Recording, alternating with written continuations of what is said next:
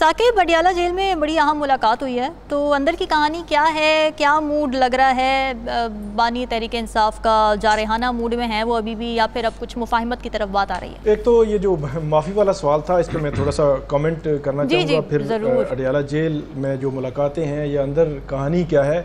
एक तो माफ़ी का जो तस्वर है वो इस तरह का नहीं है। माफ़ी में अमूमी तौर पर यही होता है कि जो दो फ्रीक होते हैं। अगर जो फ्रीक मुद्दई है वो फ्रीक हम्म। उस केस में अगर प्रोसिक्यूशन की तरफ़ से होता है तो अगर उनका नरम रवैया हो जाए अदालत के सामने तो अदालत ने आज खुद तो कुछ नहीं करना होता। तो हम्म। अदालत की अदालत के सामने उनका रवैया नरम हो जाए तो फिर जो आप बात कर रहे थे कि वो उसी तरह ही प्रोसिक्यूट होना चाहिए वो उस तरह फिर नहीं हो सकता जब माफ़ी अच्छा। तलाफी वाला मामला हो जाए। करना फिर भी अदालतों ने फैसला है लेकिन वो फैसला फिर इस तरह जो मुलजमान है उनके फेवर में चला जाता है। दूसरी जो बात हो रही है कि जो ट्रायल्स हैं वो अभी तक कंक्लूड क्यों नहीं हुए? हम्म। मेरा ख्याल है ट्रायल्स का थोड़ा सा तरीकाकार मैं आपको बता देता हूँ कि क्यों नहीं ये हो रहे। असल मसला ये है कि तकरीबन चौदह मुकदमात हैं लाहौर में इसी तरह पिंडी में भी बारह से चौदह हैं पेशावर में भी हैं। इशू ये है कि हर मुकदमे में कई सौ लोग हैं। हर मुकदमे में कई सौ गवाह हैं। तो वो एक इशू ये होता है कि एक मुकदमे में अगर दो मुलजम हों तीन गवाह हों फिर भी जो है वो कम से कम साल जो है वो लग जाता है। तो अच्छा। तो इतने गवाह इतने मुलजमान फिर उनके चालान जमा होना एक पूरा प्रोसीजर है जो जुडिशरी में।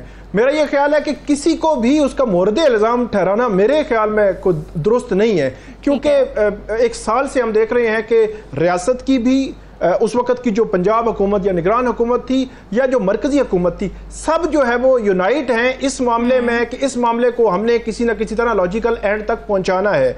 अब जो मुलजमान है अगर कोई ये कहे कि मुलजमान बासर हैं। नहीं नहीं जो हम्म। मतलब तीन तीन फरीक बनते हैं ना मुलजमान हम्म। क्या मुलजमान को बासर हैं बासर हैं तब भी उनका उनका बिल्कुल वस नहीं चल रहा। मतलब जो अच्छा, मुलजमान की हद तक बात है। अब बात दूसरी तरफ़ जो प्रोसिक्यूशन है डेफिनेटली प्रोसिक्यूटर जो है वो भी अपना काम कर रहे हैं। तीसरी हम्म। तरफ़ जो जुडिशरी है जुडिशरी का मैंने आपको बताया कि जो तरीकाकार है ना इसमें जो ट्रायल्स का वो इतना प्रोसीजर उसका इतना जो है वो लेंथी है कि इस वजह से ये चीज़ें जो है वो आगे चल रही है। मेरा ख्याल है ये मजीद तवालत भी पकड़ सकता है। अब आते हैं कि जो अडियाला जेल में जो मुलाकातें चल रही हैं जी अडियाला जेल में जो मुलाकातें चल रही हैं उसमें जो एक नुक्ता है जो समझ आ रहा है मुझे कि उनके दिमाग में बैठ गया है या जो भी है कि मुजामत हम्म। करेंगे तो बात मुफामत पे आएगी ऐसे हम्म। लगता है कि उनको शायद नवाज़ शरीफ साहब भी किसी दौर में जो है वो मुजामत कर रहे थे फिर मुफामत भी हुई तो वो उनके दिन में भी शायद है अगरचे तब तब जो है वो उस वक्त कोई नौ मई नहीं था अब है ये अच्छा, इसमें उसमें और इसमें ये, ये जो है फ़र्क है उनको मेरा ख्याल में ये समझना चाहिए। इस वक्त जो इमरान खान साहब हैं वो पार्टी से कहीं किसी हद तक नाला हैं पार्टी के कुछ लोगों से। इसीलिए एक स्ट्रिक्ट ऑर्डर जारी हुआ है शेर अफजल मरवत के लिए कि उनको कहा है कि हम्म। आप इनको फ़िलहाल साइड साइड लाइन कर दें।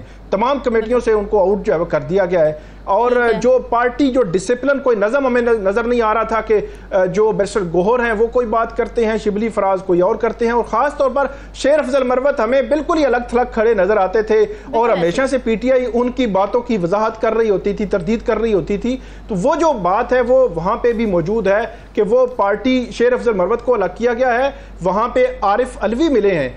आरिफ अलवी जो है उनका बड़ा अहम रोल है। आरिफ अलवी अभी रिसेंटली ही बतौर सदर जो है वो उनकी मुद्दत जो है वो पूरी हुई है उसके बाद वो अलग हुए हैं और हम्म। अभी दोबारा एक्टिव हो गए हैं हमें बिल्कुल ये नहीं भूल भूलना चाहिए कि 2022 के जो वाकयात हैं उन वाकयात में जो जनरल बाजवा के साथ जो मीटिंग्स के मामला थे उन मीटिंग्स हम्म। को सदर अलवी जो है वो कर रहे थे दरमियान में वो थे तो हो सकता है कि जो मौजूदा मौजूदा जो क्यादत है उसके साथ भी उनके तब जब सदर थे तो रबते हुए हों या इस किस्म की सिचुएशन हो तो इस लिहाज से आरिफ अलवी साहब जो है वो बड़े इंपॉर्टेंट हैं। अहम प्लेयर हैं।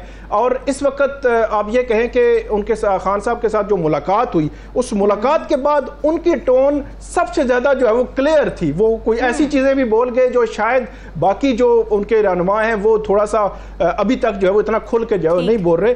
तो आरिफ अलवी साहब को एक तो आने वाले दिनों में कहीं ना कहीं उनको अहदा मिल सकता है। अहदा डेफिनेटली उनका टॉप का ही कोई होगा। इसी तरह जो जो चीफ ऑर्गेनाइजर थे सैफुल्ला नियाजी। वो एक प्रेस कॉन्फ्रेंस करके अलग हो गए थे सैफुल्ला नियाजी हम्म। के हवाले से एक बड़ी इंटरेस्टिंग फैक्ट जो है वो सामने आया है कि इस किस्म की इलेक्शन कमीशन में जो इंट्रा पार्टी इलेक्शन हैं हम्म।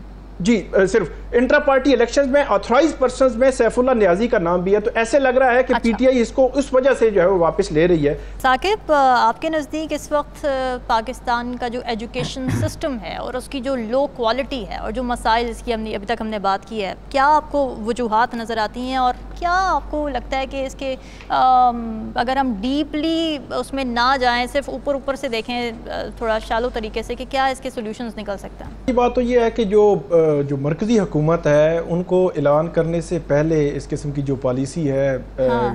कि तालीमी एमरजेंसी लगाने जा रहे हैं ये बहुत बड़ा स्टेप है और बहुत हाँ। अच्छा स्टेप है अगर इस पे काम करके वो कुछ करते चार बरसों हम्म। के लिए चार बरस के लिए वो कह रहे हैं कि हम जो है वो ये करने जा रहे हैं दूसरी जानब ये अठारहवीं तरमीम के बाद ये है ही सूबाई सब्जेक्ट है अगर वो पंजाब में कर लेंगे तो के पी की गवर्नमेंट क्या उनको मानेगी क्योंकि ये तो अल्टीमेटली वो फिर सियासत आ जाती है कि वो कहेंगे कि ये तो प्रोजेक्ट फेडरल गवर्नमेंट का है और वजी अजम शबाज शरीफ का हम अपना ऐसा क्यों डालें? हम खुद जो है वो अपने जो है वो बनाएँगे अहदाफ और उनको अचीव करने की कोशिश करेंगे।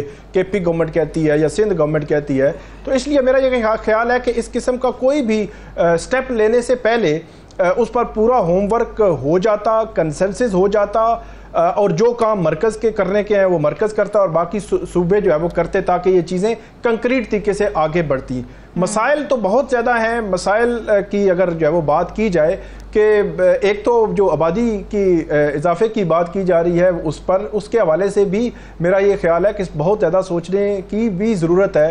ये जो मतलब अढ़ाई करोड़ बच्चे स्कूल नहीं जा रहे या उस हवाले से जो बात हो रही है उसके पीछे भी एक फैक्टर ये भी है।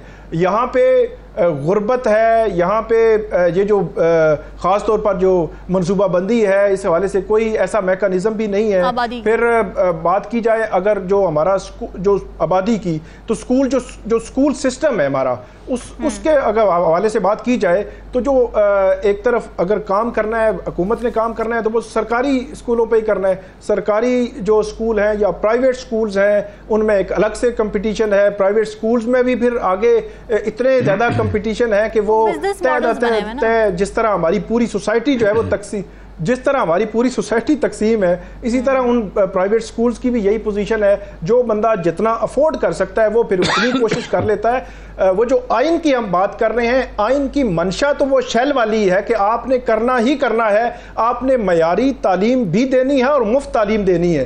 हम्म। तो यहाँ पे काम तो वैसे दोनों पे नहीं हो रहा दोनों पे कंक्रीट काम करने की ज़रूरत है और वो फिर ऐसा ही हो सकेगा कि जो हमारे जो सरकारी स्कूल हैं, उनके लिए जो पंजाब गवर्नमेंट थी पिछली जो 2008 से 13 या आगे 18 तक, उन्होंने कोशिश की, ये उनको क्रेडिट जाता है, उन्होंने कुछ जो दानिश स्कूल एक प्रोजेक्ट था, बहुत ज़्यादा कामयाब तो नहीं हुआ कोशिश बहरहाल उन्होंने की कि उसको बेहतर से बेहतर जो है वो तालीम दी जाए, मुफ़्त तालीम दी जाए, जो अफोर्ड नहीं कर सकते, जो जिस जिस किस्म का एक कल्चर बन गया है कि आपने एक अच्छी तालीम लेनी है तो किसी भी प्राइवेट इदारे में जाएँ। सरकार के स्कूलों में बहुत कम लोग इस किस्म के जाते हैं तो वो उन्होंने कोशिश की। उसी के विजन के तहत ही अभी जो है वो शबाज शरीफ साहब ये बात कर रहे हैं कि वो उसी को लेकर आगे चलेंगे और वो कोशिश करेंगे कि इसको जो है वो मीट इस तक जो है वो पहुँचने की कोशिश करें। तो वो बात फिर सिलेबस की भी बात आती है है। सिलेबस के हवाले से भी वही तकसीम है जो मैार की तालीमी मैार की तकसीम है वही सिलेबस की तकसीम है।